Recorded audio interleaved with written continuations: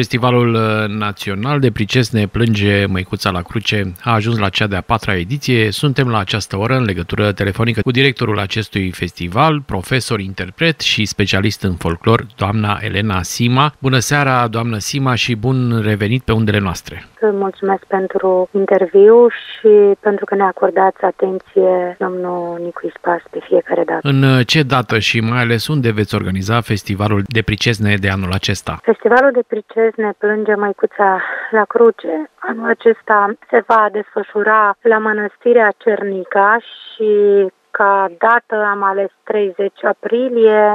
Anul acesta nu este gândit un festival concurs, este doar festival, va fi în memoria unei domnișoare care a propovăduit așa frumos în numele cântecului bisericesc, Sara Nuchina, și care este înmormântată la Cernica. Noi anul trecut am vrut să facem acest eveniment la Cernica, la Mănăstirea Cernica, dar ni s-a deschis așa o altă posibilitate frumoasă cu părintele Vasile Ioana, și atunci ne-am dus către biserica dintr-o zi din București, rămânând totuși așa în suflet cu acea doleanță de mănăstire și anul acesta am reluat și când am reluat ideea, ne-a venit în minte Sara, care a fost înmormântată în decembrie, cu care am avut așa proiecte. Noi am crezut din totdeauna în copii și Sara a fost unul dintre copiii care a participat la unele evenimente organizate de noi. Am fost la înmormântare și noi.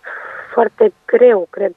Nici nu vreau și nici nu știu dacă pot să-mi imaginez așa durere mare. Am legat-o de durerea Maicii Domnului și am considerat oportun anul acesta să-i ținem amintirea Sarei aprinsă și eu cred că nu ne vom opri aici. Părinții au îmbrățișat ideea noastră și nu-mi doresc decât să fie o alinare pentru părinți pentru copii o bună amprentă culturală vor urca doar cei care au fost premianții edițiilor trecute. Ei au șansa aceasta să urce și să performeze în ideea de a tămădui un suflet a oricărui om împovărat și vor mai fi câțiva invitați dintre cunoscătorii Sarei. Vom merge împreună la mormântul Sarei după festival, vom aprinde lumânări, vom cânta unul dintre cântecele pe care ea îl știa și mănăstirea a fost așa mărinimoasă și ne deschide toate locașele de cult pe care le au acolo. Vom trece și pe la muzeu, vom uh, vedea și mormintele.